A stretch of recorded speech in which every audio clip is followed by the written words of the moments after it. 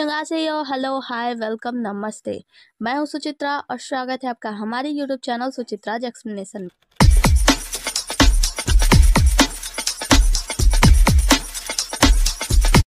आज का ड्रामा होने वाला है इंटरनल लव ऑफ़ ड्रीम का एपिसोड नंबर चौवन।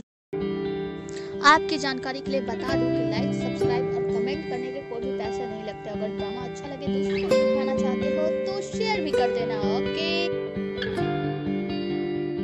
एपिसोड के स्टार्ट में हम देखते हैं कि बाई फेंग जो सैड मुँह लेकर किंक्यू में वापस आती है, जहाँ पर उससे गॉड जेंगयांग से मुलाकात होती है। गॉड जेंगयांग कहते हैं, क्या तुम्हारी मुलाकात डॉगवा से हुई? तो वो कहती है, नहीं। अंकल, आखिर मेरी क्या गलती है? वो उनसे कहती है कि गॉड जेंगयांग मेरी क्या गलती है? मुझे समझ नहीं आ रहा है। उसने मुझसे झूठ क्यों बोला? मैं पागलों की तरह उसका इंतज़ार करती रही और वो नहीं आया। उसने फिर से मुझे धोखा दिया। मैं क्या करूँ? मुझे समझ नहीं आ रहा है। वो सैड होती है बहुत ही ज़्यादा। यहाँ पे गॉड जेंगयांग उसका चेहरा देखते हैं, फिर उसके हाथों की नब जांचने के बाद बताते हैं कि फेंगजो तुम प्रेग्नेंट हो। इतना सुनना था कि बाई फेंग जो फूट उठ कर रोने लगती है, वो चिल्ला चिल्ला कर रोने लगती है, अब मैं क्या करूँगी? मैं कैसे जीऊँगी? तो यहाँ पे गौरजेंग यांग कहते हैं कि तुम चिंता मत करो, मैं और तुम्हारे अंकल, हम दोनों तुम्हारे साथ हैं, हम दोनों तुम्हारे साथ कभी नहीं छोड़ेंगे। किसी में हम ची डमन को देखते हैं जो कि बंधा होता है, जहाँ पे मियाँ लोफो वही डायन आती है और उसको रिलीज़ करती है। उसके बाद से वो घुटनों के बल बैठ जाता है, कहता है कि महारानी प्रणाम हो कहती है कि खुश रहो। उसके बाद वो कहता है कि, कहती है, महारानी की देखो, मैं आज़ाद तो हो गई हूँ, लेकिन मुझे अपनी शक्तियाँ पाने के लिए मुझे मेडिटेशन करने की बहुत ही ज़्यादा आवश्यकता सकता है तो मैं यहाँ से जा रही हूँ। और जब तक मैं यहाँ से जा रही हूँ, तब तक तुम वो होगे जो पूरे डायमंड लोग को डील करोगे। मतलब जितने भी डायमंड में, यहाँ पे जितने भी डायमंड है, उन सबको तुम लीड करोगे। आज से तुम यहाँ के राजा हो और उसे कुछ पावर देती है, वहाँ से गायब हो जाती है। जिसके वजह से ची डायमंड का तो खुशी का ठिकाना नहीं रहता, वो ज़ोर ज़ोर से चिल्लाने लगता है कि, अब मैं राजा हूँ, मेरे पास शक्तियाँ हैं। मिस्टर यांग को देखते हैं, जो कि बाई फंगजू को ढूंढ रहे होते हैं, पर बाई फंगजू यहाँ पे किंकियों में भी नहीं होती है। वो चारों उन्हें ढूंढ रहे होते हैं और यहाँ पे आते हैं तो नहीं मिलती हैं तो वो यहीं पर मिस्टर लियोंग शोंग आते हैं। लियोंग शोंग से पूछते हैं कि किंग मतलब राजकुमारी बैफेंग जो क्या है? तो मिस्टर लियोंगशोंग कहते हैं ऐसा कैसे हो सकता है? दोनों की शादी आज के दिन दोनों के दोनों गायब हैं। वो कहते हैं कि हाँ वो कहीं भी मुझे मिल नहीं रहे हैं मैं, मैं मतलब मुझे उनसे कुछ बात करनी है। तो वो कहते हैं कि अच्छा क्या बात करनी है? डोंगुआ कहाँ है? ये तो बताओ। वो कहते हैं वही तो बताने आया हूँ दरअसल बात जो है ना डोंगुआ का ऐसा तब तक इतने ही देर में चौंग लिया जाता है जिसकी हालत बहुत ही ज़्यादा खराब होती है मतलब नाजुक होती है उसे चोट लगा होता है। यहाँ पर मिस्टर लियोंगशोंग पूछते कि क्या हुआ? तुम ठीक तो होना तो वो बताता है कि जल्दी हमें चलना होगा। जो डोंगुआ है ना उन्होंने मियाओ खाई मतलब मियाओ खाई से वहाँ से टूट के वापस आ गया। डोंगो ने बुलाया है, जल्दी चलो। वो सब छोड़ो, जल्दी चलो। डोंगो ने बुलाया है, वो फैंगिंग वैली के गेट पर हैं, वहाँ पे इंतज़ार कर रहे हैं। तो ये तीनों लोग वहाँ पे चले जाते हैं। जहाँ पे हम देखते हैं कि डोंगुआ बाहर से कुछ जादू मंत्र कर रहे होते हैं मतलब फैंगिंग वैली को बंद करने की कोशिश कर रहे होते हैं। यंगशन कहते हैं कि, तुम यहाँ क्या कर रहे हो? डोंगुआ बताते हैं कि, मैं यहाँ पे इस दरवाजे को बंद करने की कोशिश कर रहा हूँ। तुम इसे पकड़ो मतलब इस दरवाजे को बंद करने की कोशिश करो, अपनी शक्तियाँ लगाओ। मैं अंदर जा रहा हूँ। जो जो मियाओ लूफो है ना, वो इसके अंदर ही है। तो वो कहते हैं लेकिन तुम इसके अंदर क्यों कैसे जाओगे? उसने तुम्हें नुकसान पहुँचा दिया। तो, तो वो कहते हैं कहते हैं कि आप चिंता मत करो। दरअसल मेरे पास कुछ ऐसी डार्क एनर्जी है जिसकी वजह से वो मुझे नुकसान नहीं पहुँचा सकता। मुझे अंदर जाना होगा बस तुम बाहर से ध्यान रखना। तो यहाँ पे लियोंगशोंग कहते हैं कि ठीक है जाओ और फिर अपनी जादुई शक्ति से उसे रोकने लगता है मतलब दरवाजे को बंद करने लगते हैं। तो यहीं पर हम देखते हैं कि जो चौंगली होता है उसकी हालत बहुत ही ज़्यादा खराब था जिससे कि मिस्टर यांग पूछते हैं कि ये बताओ यू यांग कहाँ है? वो ठीक तो है ना? तो वो वो तो वहाँ पे आँसू के आँसू मतलब खून के आँसू की रक्षा कर रहा था वो ठीक तो है ना? तो यहाँ पे चौंगली बताता है कि नहीं, दरअसल वो मारे गए और इतना कहते हुए चौंगली यहाँ पे बेहोश हो जाता है। अब मिस्टर मिस्टर यांग की हालत तो बहुत ज़्यादा खराब हो जाती है मतलब वो बहुत ही ज़्यादा गुस्से में आ जाते हैं और अपनी तलवार निकालते हैं कहते हैं, मियाँ लूबो मैं, तुम्हें जान से मार डालूँगा। जैसे वो आगे बढ़ते हैं फेंगिंग वैली के अंदर जाने के लिए, यहाँ पे उन्हें जो लियोंग शोंग होते हैं वो रोक लेते हैं। कहते हैं कि नहीं, देखो, शांति से काम लो। शोंग उसे रोकते हुए कहते हैं कि, रुक जाओ, तुम अंदर नहीं जा सकते। वो कहता है कि, मुझे उसे मारना होगा। उसने मेरे दोस्त, मेरे भाई को मार डाला मतलब वो जो राजा थे उनको मार दिया। तो वो कहते हैं, लियोंग शोंग की रुक जाओ, तुम ऐसा नहीं कर सकते। देखो तुम्हें शांति से काम लेना होगा। अगर तुम अंदर गए तो वो तुम्हें भी जान से मार देगा। तुम अपनी मौत को दावत दे रहे हो। तुम्हें पता नहीं है, तुम्हें पता नहीं है क्या डोंगुआ ही एक लौता ऐसा है जो पूरी संसार में उसको मतलब म्यालुफो को मार सकता है। उसके अलावा उसे कोई मार नहीं सकता। अगर तुम अंदर जाओगे तो तुम मौत के मुँह में अंदर जा रहे हो। तो वो कहता है, इससे फ़र्क नहीं पड़ता। मैं उसे जान से मार दूँगा या मर जाऊँगा, लेकिन मैं वापस नहीं आऊँगा। तो वो कहते हैं कि, चुप रहो। तुम पागल हो क्या? अगर ये फेंगिंग वैली खुल गई ना तो पूरी दुनिया को सर्वनाश हो जाएगा। और ये बंद इसीलिए है ताकि वो बाहर के क्रिएचर को कुछ नुकसान ना पहुँचाए डोंगुआ ने किया है। तो प्लीज़ मेरा साथ दो और शांत रहो। याद रखो, एक अच्छे राजा का ये भी कर्तव्य है कि वो बाकी प्रजा की रक्षा कर सके। अब ये सारी बातें सोचने के बाद उसे यू यांग की बातें याद आती है, जब उन्होंने बताया था कि एक राजा की ये मतलब एक राजा का ये हिम्मत होना चाहिए कि वो अपनी तलवार से ज़्यादा बातों से काम चला सके। इसके बाद से वो गुस्से में अपनी तलवार को वहीं पे गाड़ देता है ज़मीन में और फिर अपनी शक्तियाँ लगाकर उस फ्रेंगिंग वैली को बंद करने की कोशिश कर रहा होता है। बाई फेंगजू को देखते हैं जो कि लेटी होती है और कुछ सोच रही थी मतलब सैड होती है। वहाँ पे उससे मिलने के लिए चैंगी आती है, वो उठ कर बैठ जाती है। चंगू कहती है कि तुम ठीक तो हो ना? मुझे पता है तुम्हें बहुत ज़्यादा बुरा लग रहा है। मैं स्कैंक एकदम गई थी, तुम वहाँ नहीं थी तो मैं तुमसे मिलने के लिए क्यों मैं चली आई। वो कहती है कि मुझे समझ में नहीं आ रहा है, मैं क्या करूँ? मैंने महाराज डोंगो को इतना ज़्यादा समय दिया। लेकिन फिर भी वो यहाँ पे वापस नहीं आए। वो डेवन क्लैन यानी कि राक्षसों के कुल में ही रुक गए, उनके साथ ही रुक गए। जब अरण्य के स्वप्न में वो मुझसे मिले थे, उन्होंने मुझसे बहुत प्यार किया। अगर वो तभी राजकुमारी जंगी राजकुमारी जी हैं को चाहते थे ना तो वो मुझसे एक बार कह देते, मैं उनसे कभी नहीं कहती कभी उनसे फोर्स नहीं करती कि मुझसे शादी करो। चाहे मैं उनसे कितना भी प्यार क्यों नहीं करती हूँ, मैं उनसे कभी नहीं कहती कि तुम मुझसे शादी करो, और वो ओपन रहते मतलब फ्री रहते। वो मुझसे शादी ना करते तो भी चलता। लेकिन उन्होंने मेरे साथ धोखा किया। मुझे समझ नहीं आ रहा, मैं क्या करूँ? चेंग्यू कहती है कि तुम चिंता मत करो, तुम्हें रोना है, मुझे पता है तुम खुल के रो लो। तुम्हारा खुल के रोने से ना, तुम्हारा मन हल्का हो जाएगा, तुम थोड़ी सी अच्छा रिलीफ फील करोगी। तो वो कहती है, नहीं, मैं रोना नहीं चाहती मुझे, मैं अगर अपने पिता को, मेरे पिता को पता चलेगा ये सब कि वो मुझे छोड़कर चले गए हैं और वो शायद वापस नहीं आएँगे तो मेरे पिता को बहुत बुरा लगेगा और शायद उनका प्यार पर से भरोसा भी उठ जाएगा। चंगी कहती है कि तुम चिंता मत करो, मैं जाती हूँ लियोंगशोंग को ढूंढती हूँ और पता करती हूँ। उसको ज़रूर कुछ ना कुछ मालूम होगा और फिर वहाँ से चली जाती है। आगे की सीन में हम डोंगुआ को देखते हैं, जो कि फैंगिंग वैली में पहुँच गए होते हैं और वहाँ पे जादू करते हैं, जिसके चारों तरफ़ गुलाबी गुलाबी समा मतलब गुलाबी गुलाबी नज़ारा हो जाता है। उसके बाद से वो कहते हैं कि मियाओ लोफो जो है, वो यहीं पे है, वो अपने भीतर की डार्क एनर्जी को बाहर रिलीज़ कर रहा है। मुझे उसे मारना होगा। उस डार्क एनर्जी के, उसके अंदर रहते ही, क्योंकि अगर वो डार्क एनर्जी उसके शरीर से बाहर निकल गई तो फिर उसका कोई कुछ भी नहीं बैठ सकता। मतलब उसे अभी मारना बहुत ही ज़्यादा ज़रूरी है। हम यहीं पे मियालोफो को भी देख पाते हैं जो कि अपने शरीर से डार्क एनर्जी को रिलीज़ कर रहा होता है कर रही होती आगे की सीन में हम चीरमन को देखते हैं जो कि कहता है कि सौ सैनिकों को मियाओ चैम्स के मतलब मियाओ चैम्स माउंटेन पे भेज दो। तो वो कहता है मतलब एक वहाँ पे जो होता है राक्षस वो कहता है कि लेकिन हम वहाँ पे सौ सैनिकों को क्यों भेजे? वहाँ पे गॉड और गॉड और राक्षसों में कोई लड़ाई थोड़ी ना चलिए तो वो कहता है कि इस सिचुएशन के हिसाब से मैं यहाँ कर जाऊँ तो मेरी बात तुम्हें मारनी होगी। तो दूसरा वाला कह, कहता है कि बिल्कुल नहीं तब तक वो उसका गला दबा देता है अपने शक्तियों से। ची डेवन तो वो कहता है कि तुम ऐसा कैसे कर सकते हो? हम सभी यहाँ के राजा हैं मतलब हम लोग राजा है तो तुम कैसे राजा हो सकते हो? तो वो कहता है कि अभी राजा मैं ही हूँ उसके बाद उसका गला दबा के वहाँ से फेंक देता है। कहता है कि तुम्हें मेरा कहना करना है या नहीं? तो वो कहता है जी महाराज और चला जाता है। बाई को देखते हैं जो कि बैठी होती है उसे एक चिट्ठी मिलता है। उसमें लिखा होता है कि यहाँ पे दो पिल्स है मतलब दो दवाइयाँ हैं। एक प्रोटेक्शन पिल्स है और एक जो है वो एबॉर्सन पिल्स है। तुम्हें दोनों में से क्या चूज़ करना है ये तुम्हारी मर्ज़ी है। अगर तुम तुम जो भी करोगी मैं तुम्हारे साथ हूँ। उसके बाद से वो क्या करती है एक पिल्स उठाकर खा लेती है फिर वहाँ से चली जाती है। वहाँ पे गाना बजने लगता है। वैसे राजकुमारी ताईचंग पैलेस में जाती है और प्यारा सा गाना बज रहा होता है। वो अंदर जा रही होती है वो सोच भी रही होती है कि कैसे महामहिम उसे अपनी गोद में लेकर आए थे। मतलब जब वो लोमड़ी के रूप में लेकर आए थे फिर वहाँ पे वो लोमड़ी के रूप में उनके साथ कैसे कैसे रहा करती थी कैसे उनके कमरे में थी उनके साथ उसने मिलकर पेंटिंग बनाया था। मतलब ये सारी चीज़ें उन्हें याद आ रही होती है। उस गुंबद के नीचे भी जाती है जहाँ पे महाराज उसके उसके लिए खट्टी मीठी मछली बनाकर रखे थे। वही गुंबद के नीचे खड़े होकर सोच रही होती है कि महाराज से अलग होने का मेरे पास बहुत ही ज़्यादा मौका था। मतलब मैं इतना ज़्यादा मैं उनसे अलग हुई, फिर उनके करीब आ गई। ये सृष्टि हमें उनके करीब लेकर आई, लेकिन आज महाराज मुझसे दूर हो गए हैं। जब अरण्य के स्वप्न में हम गए थे तो महाराज ने मुझसे बहुत ही ज़्यादा प्यार किया। उन्होंने प्यार और मतलब मेरे और मौत के बीच में, अब मुझे चुना, मुझे मुझे प्यार किया। लेकिन अब जब वो राजकुमारी जीहेंग तकलीफ़ में थी उससे कुछ परेशानी हुई तो महाराज ने उसे चुन लिया। महाराज मुझसे कभी प्यार करते ही नहीं थे। अगर महाराज ने एक बार मुझे बता दिया होता तो मैं उनके पीछे कभी जाती ही नहीं। मैं हमेशा से उन तक उनका इंतज़ार कर सकती थी। मैं पूरी ज़िंदगी आपका इंतज़ार कर सकती थी महाराज डोंगवा लेकिन अब नहीं कर सकती।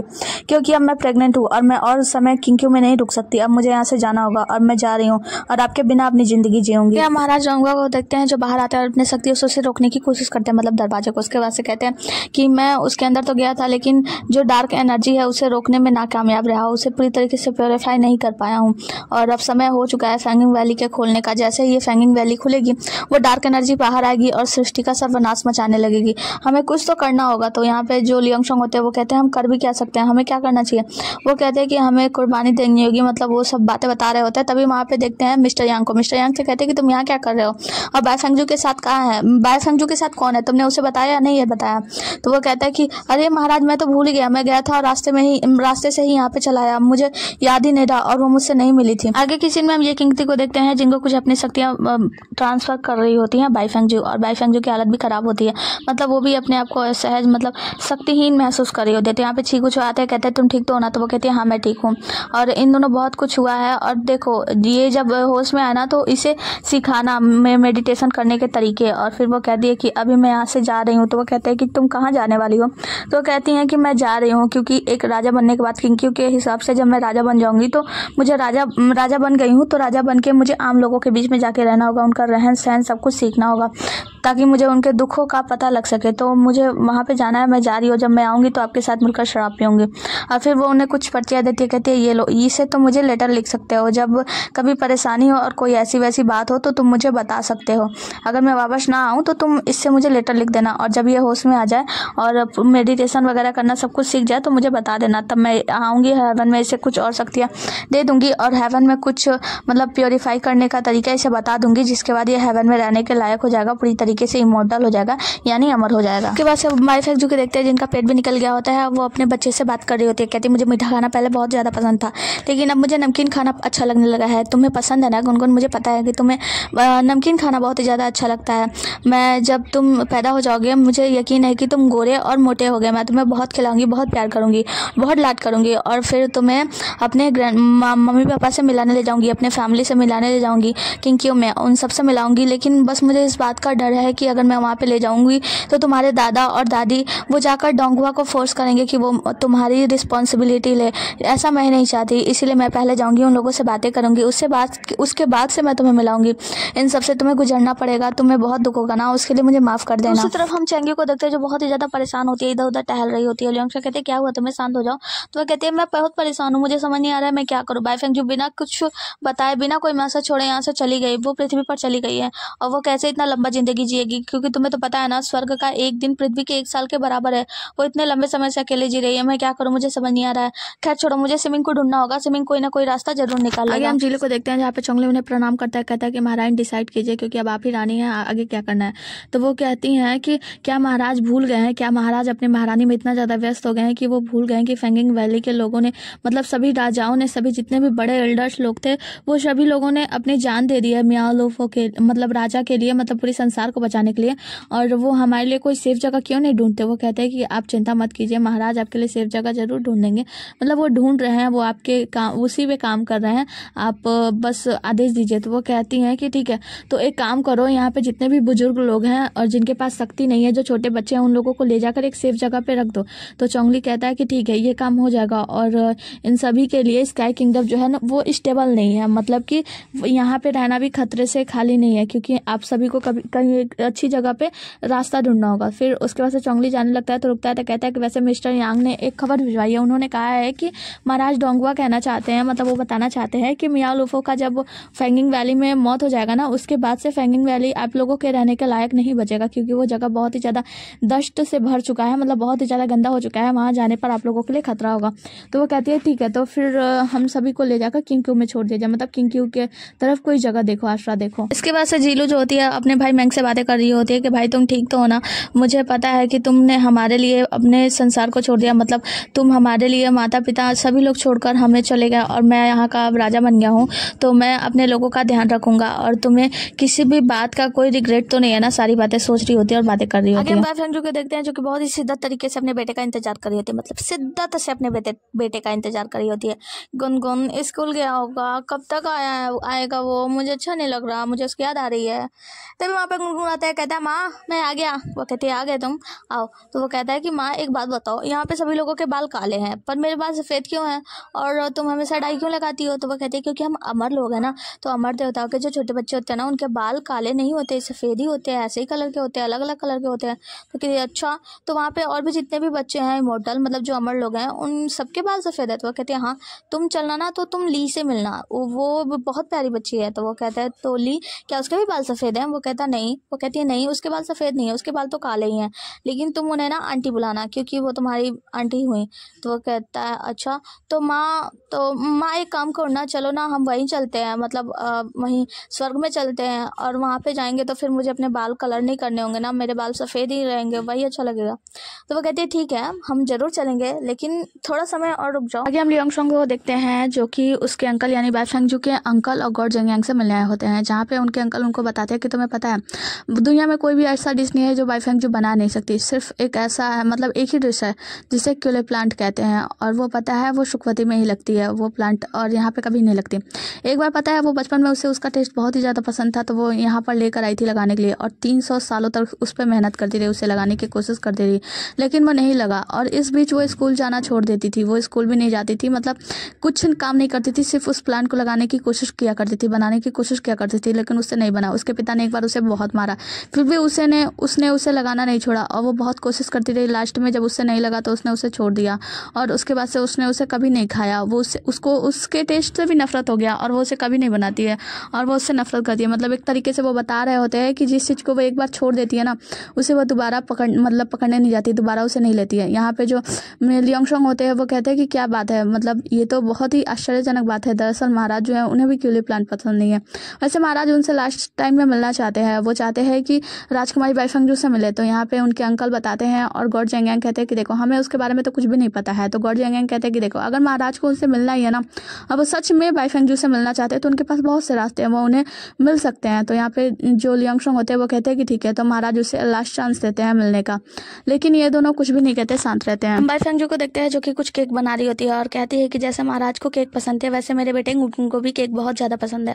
वो उसके लिए केक लेकर आती है और फिर गुनगुन का इंतज़ार करती है। गुनगुन दौड़ता हुआ आता है, कहता है कि, माँ, मैं आ गया तो वो कहती है कि, देखो, मैंने तुम्हारे लिए केक बनाया है, तुम खा लो। तो वो कहता है कि हाँ माँ, दे दो ना। तो वो हाथ से उठाने जाता है, वो कहती है, रुको तो पहले जाओ, हाथ धुल के आओ। तो यहाँ पे गुनगुन जाता है हाथ वाथ धुल के आता है खाने के लिए। फिर वो केक परोसती है तो वो कहता है, गुनगुन की माँ, तुमने मुझे तीन दिए और खुद चार लिया, ऐसा क्यों? तो वो कहती है, क्योंकि मैं तुमसे बड़ी हूँ ना, इसीलिए मैंने चार लिया। तो वो कहती हैं वो कहता है, लेकिन मेरे स्कूल के जितने भी बच्चे हैं ना, उनकी माँ कभी उनसे केक नहीं बंटवारा करती, वो सारे केक बच्चों को ही दे देती हैं।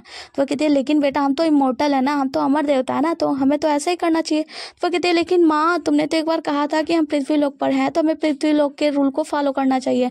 तो फिर अब इमोटल लोग का लुक हम रूल हम क्यों फॉलो करें?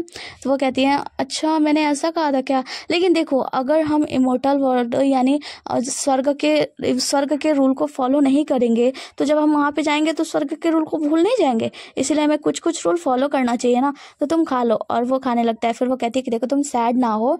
मैं जल्दी तुम्हारे लिए एक और पीस दे दूँगी मतलब बस कुछ दिनों में तुम बड़े हो जाओगे तो मैं तुम्हें चार पीस दिया करूँगी। तो कहता है, ओके। फिर कहता है कि, माँ, हमें यहाँ से जाना ज़रूरी है क्या? तो वो कहती है हाँ। क्योंकि हम इमोटल है ना तो हम लोगों को यहाँ से जाना होगा, वरना लोग हमारे ऊपर शक नहीं करने लगेंगे। तो वो कहती, कहता है कि हाँ लेकिन माँ जब हम यहाँ से चले जाएँगे तो मैं अपने दोस्तों के साथ खेल नहीं पाऊँगा। तो वो कहती है, लेकिन बेटा, हमें जाना भी तो ज़रूरी है ना? तो गुनगुन कहता है कि, ठीक है माँ, मैं तो ऐसा तुम जहाँ चलोगी, मैं वहाँ पे चल दूँगा। एक सीन में हम ये किंगती को देखते हैं, जो कि अपना मेडिटेशन कर रहा होता है। और मतलब ये ज़िंदा हो गया होता है, अमर हो गया होता है, पूरी तरीके से नहीं, पर अभी कुछ चीज़ें तो बाकी होती है। वो उठ के जाता है और छी कुछ जो होते हैं, उनको प्रणाम करता है। वो कहता है कि, तुम ठीक हो गए हो, अब मतलब अमर हो गए हो, लेकिन तुम्हें बस कुछ शक्तियों कि कमी है। भाई फेंगजू बाई फेंगजू की जान तुमने बचाई थी, उसने बदले में तुम्हें तुम्हें ज़िंदगी दे दिया पिंग पोंग फल के द्वारा। तो तुम पिंग, बाई फेंगजू के पास जाओ, उसे सर्व करो, वो तुम्हें बाकी की शक्तियाँ दे देगी मतलब बाकी का आगे का काम वो समझाएँगे। यहाँ पे जो ये किंगती होते हैं, वो कहते हैं कि, पर मुझे ये तो बताइए, बाई फेंगजू कौन है और मेरा उनसे क्या रिश्ता है?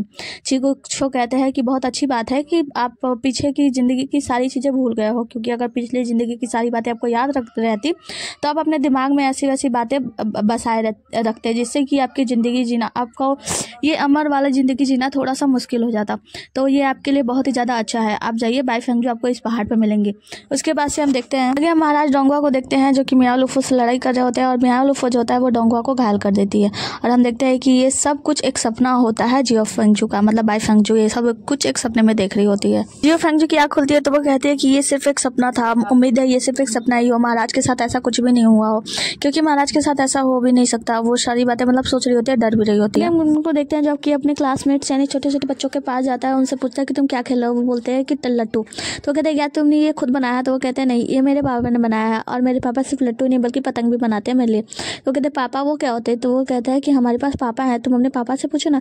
तो कहते पर मेरे पास तो सिर्फ़ एक मम्मी है। तो वो कहते हैं, ऐसा कैसे हो सकता है? मैं सब हर किसी के पास होते हैं, एक पापा होते हैं, एक मम्मी भी होती है। मतलब यहाँ से इसे अपने पापा के बारे में पता चलता है। गुनगुन जाता है, अपने मोम से पूछता है कि, मोम, क्या मेरे पापा हैं? तो वो कहता है, कहती हैं कि नहीं, तुम्हारे पापा नहीं है, मैंने तुम्हें स्वयं जन्म दिया है। तो वो कहती है, माँ, ऐसा कैसे? तो वो कहती है, क्योंकि हम लोग इमोटल है ना, हम लोग अमर लोग हैं, अमर देवता है। तो ऐसा पॉसिबल है कि अमर देवताओं के बीच में कोई ऐसी भी माँ हो जो अपने बच्चे को स्वयं जन्म दे दे? तो वह कहते हैं अच्छा तो माँ, उनका रोल यहाँ के रूल से अलग क्यों है? ये छोटे बच्चे ज़्यादा केक नहीं खा सकते बड़े बड़े लोग खा सकते हैं, और वो अकेले बच्चे को जन्म दे सकते हैं, और उनके पापा भी नहीं होंगे। मतलब मुझे ये सब चीज़ें बिल्कुल भी पसंद नहीं आती है। उसके बाद से वो कहते हैं, उसकी माँ, ठीक है, एक काम करो तुम कल स्कूल छोड़ दो, कल मैं तुम्हें पहाड़ों पर ले चलती हूँ ठंडी हवाओं के लिए। आगे हम देखते हैं कि चैंगयू, सेमिंग और लियोंग तीनों लोग जो होते हैं, ये ढूंढ रहे होते हैं कि मियाओ मियाओ लुफो का जो डार्क एनर्जी है, उसे कैसे रोका जा सकता है। इन लोगों को पता चलता है कि कोई म्यूज़िक इंस्ट्रूमेंट मतलब कुछ भी ऐसा नहीं है जो उसे रोक सके। तभी लियोंगशोंग एक किताब पढ़े होते हैं और वो कहते हैं कि मुझे मिल गया। और फिर ये तीनों लोग जाकर बड़े ध्यान से देखते हैं। पे हमें पता चलता है कि इन लोगों को मियाओ लोगों को मारने का तरीका मिल गया है मतलब उसे रोकने का तरीका मिल गया है। आगे किसी सीन में हम डोंगुआ को देखते हैं जिनकी हालत बहुत ज़्यादा ख़राब हो गई होती है। वो आते हैं और मिस्टर यांग को अपनी तलवार देते हैं। मिस्टर यांग से कहते हैं कि ख्याल रखना, उनकी तबीयत खराब होते देख मिस्टर यांग भी पूछते हैं कि आप ठीक तो होना तो वो कहते हैं कि हाँ मैं ठीक हूँ, बस तुम ध्यान देना। और वहीं पे हम देखते हैं कि जो चौंगली होता है, वो दवाई लेकर आ रहा होता है। ची डामन को हम देखते हैं, जहाँ पे हमें पता चलता है कि उसके जितने भी डमन लोग के लोग हैं, वो सभी लोग अपने सैनिकों को भेजने से इनकार कर दिए और अपना अपना गेट बंद करके बैठे हैं। वो गुस्से में अपने ही साथी की जान ले लेता है। फिर हम देखते हैं मियाँ लुफो को, जो कि अपनी शक्तियाँ बढ़ाने की कोशिश कर रही होती है मेडिटेशन वगैरह करके। आगे हम डोंगों को देखते हैं, जिसकी शक्तियाँ कम पाई जाती है मतलब उसकी शक्ति तो कम होती है। यहाँ पे जो मिस्टर लियोंगशोंग होते हैं, उसे समझा रहे होते हैं कि देखो, जो गॉड जैंग है और जो बाई फेंगजू के चाचा जी हैं, वो बाहर गए हुए हैं। मैं जल्दी किसी को भेज कर उसे बात करूँगा कि वो उनके बारे में कुछ बता दे और तुम्हें अपना ध्यान देना चाहिए। वो कहती हैं, कहते हैं कि मुझे इससे फ़र्क नहीं पड़ता। वो कहते हैं लियोंग शंग की देखो, बिहाई कैंगलिन जो है, वो तुमसे लिंक है। तो अगर उसके उसके बारे में उस राक्षसी को पता है कि तुम्हारे लिए बहुत ही ज़्यादा खतरा है तो तुम्हें तो सोच समझ के काम लेना चाहिए। वो कहता है उससे मुझे फ़र्क नहीं पड़ता। डोंगो कहता है कि मुझे बस उससे मैं एक बार मिलना चाहता हूँ एक बार उसे देखना चाहता हूँ क्योंकि अब समय नहीं है। फैंगिंग वैली जल्दी खुल जाएगी और सब कुछ सर्वनाश होने लगेगा। लियोंग शंग आते हैं तो सिमो और चेंगू को पूछने पर बताते हैं कि महाराज मानने को तैयार नहीं है। हमें कोई और रास्ता ढूंढना होगा। चलो हम लोग चलते हैं। चेंगू को देखते हैं जो कि खाना खिला रही होती है गुनगुन को तभी उसे एक लेटर आता है। लेटर में लिखा होता है कि आप जल्दी से पहाड़ के चोटी पे पहुँच जाइए। गुनगुन पूछता है कि मॉम ये क्या है? किसका लेटर है तो वो कहती है गुनगुन, अब हमारा टाइम आ चुका है, हमें फेरी लैंड में जाना होगा। हम चीडमन को देखते हैं, जो कि कुछ राक्षसों से उनकी शक्तियाँ मतलब उनके प्राण ले रहे होते हैं। तभी वहाँ पे यंग डेवल उठाते हैं, उनसे लड़ाई करने लगते हैं। चीडमन कहते हैं कि, तुम यहाँ क्यों आए हो? क्या देवता द्वारा तुम्हें भगा दिया गया है? तो वो कहते हैं यंग की, देखो, आज तुम्हारा मरने का दिन है, बस तुम तैयार हो जाओ। उसके बाद यंग डेवल कहते हैं कि, मैं जू यंग के मौत का बदला लेने आया हूँ और उनके ऊपर तलवार बाज देते हैं मतलब तलवार से प्रहार करते हैं। जिसके बाद से हम चीडमन को देखते हैं, वो उन्हें रोक देते हैं अपने हाथों से। हम बाई फंगजू को देखते हैं, जो कि छीगुचो से मिलती है। छीगुचो उनसे बताते हैं कि अब जो मिस्टर ये किंगती हैं, वो ठीक हो चुके हैं। मतलब उन्हें कुछ शक्तियों की ज़रूरत है और वो पहाड़ कई सालों में पहली बार खुलता है तो आपको वहाँ पे जाकर उनके साथ उन्हें शक्तियाँ प्रदान करनी होगी। उसके बाद से उसे बताते हैं कि वैसे महाराज डोंगवा आपसे मिलना चाहते थे तो वो कहती हैं कि अगर महाराज डोंगवा मुझसे मिलना चाहते तो बहुत पहले ही मुझसे मिल लेते। तो वो कहते हैं कि ऐसी बात नहीं है। तो वो कहती है कि ठीक है, मैं उनसे जाकर मिल लूँगी। और फिर वो बच्चे को देखकर पूछते हैं कि ये बच्चा कौन है? तो वो कहते हैं, ये मेरा बच्चा है, मैं इसकी माँ हूँ और महाराज डोंगवा इसके पिता तो वो कहते हैं कि अच्छा यही कारण था कि आप वापस नहीं आना चाहती थी। वो कहती है कि हाँ और फिर कहती है कि तुम कुछ समय तक मेरे बच्चे का ख्याल रखो। ज़रूरी काम है जिन्हें निपटाने के बाद मैं वापस से आकर अपने बच्चे को गुनगुन को ले जाऊँगी। तो वो कहते हैं कि ठीक है, फिर वो जब वो जाने लगती है तो गुनगुन बोलता है, माँ, मुझे भी अपने साथ ले चलो ना। तो उन्हें समझाते हुए कहते हैं कि, बेटा, मुझे बहुत ही इंपॉर्टेंट काम है और मैं जल्दी आ जाऊँगी। तो फिर छोटा बच्चा जो होता है गुनगुन, वो कहता है, ठीक है, माँ अब मुझसे प्रॉमिस करो, जल्दी वापस लौट आओगी। तो वो कहती है कि प्रॉमिस आगे अच्छी डमन और मिस्टर यांग की लड़ाई देखते हैं, जहाँ पे हमें पता चलता है कि ये दोनों आपस में लड़ होते हैं और पीछे से हम देखते हैं कि मियाँ लोफो भी यहाँ पे आ जाता है। जो ची डमन होते हैं वो कहते हैं कि यांग तुम्हें मेरे शरण में आना होगा। जब तुम मेरे शरण में आ जाओगे तो मैं तुम्हें पक्ष दूँगा और तुम्हारे कुल को भी जाने दूँगा। वो कहता है कि तुम तुम तो बस एक पपेट हो ना क्योंकि पहले डोंग डोंगुआ या मियाँ लोफो दोनों में से जिसकी जीत होगी तुम उसके पपेट बन के रह जाओगे। तो वो कहता है ऐसा बिल्कुल भी नहीं है। जब वो लोग वो लो, लड़ाई में जो भी जीते लेकिन मैं ही हमेशा से राजा रहूँगा और वो राक्षसी वो मेरा क्या बिगाड़ सकती है? मतलब ऐसे ऐसे करके उसको भी बुरा भला बोल रहा होता है। ये मिस्टर यांग को तो पता ही होता है कि पीछे मियालोफो खड़ी है। मियालोफो जैसे उसके तरफ़ देखती है, कहती है अच्छा ऐसा सोचते हो तुम? तो वो डर जाता है चीडामन जैसे पीछे मुड़ता है, वो उसकी शक्तियाँ छीनने लगती हैं। तो जब वो शक्तियाँ छीनने लगती है तो वो कहता है कि, प्लीज़ मुझे माफ़ कर दो, मैंने ऐसा कुछ भी नहीं कहा। मतलब वो बचने की कोशिश कर रहा होता है। मिस्टर यांग कहते हैं, इसे जान से मार डालो। अगर तुम इसे जान से मार डालोगी तो मैं तुम्हें डोंगुआ की एक सीक्रेट बताऊँगा। वो उसे जान से मारने लगती है। लेकिन जो चीडामन होता है, वो कहता है, नहीं नहीं ये झूठ बोल रहा है महारानी ये बिल्कुल झूठ बोला है क्योंकि ये डोंगुआ का खास है। ये आपको कुछ भी नहीं बताने वाला है लेकिन वो कुछ भी नहीं सुनती। डायन जो होती है वो ची डायमंड को मार डालती है। जब चीज़ डायमंड पूरी तरीके से मर जाता है तो ची तो जो दा, दानव होती है मियालोफो वो कहती है कि ठीक है अब तुम्हारी बारी है तुम मुझे बताओ क्या बताना चाहते हो? और जो मिस्टर यांग होते हैं वो सस्पिशियस निगाह से देख रहे होते हैं और इसी के साथ हमारा आज का एपिसोड ख़त्म होता है। मिलते हैं अगले एपिसोड में तब तक के लिए बने रहिए हमारे साथ। टाटा बाय बाय और हाँ वीडियो लाइक कर देना प्लीज़।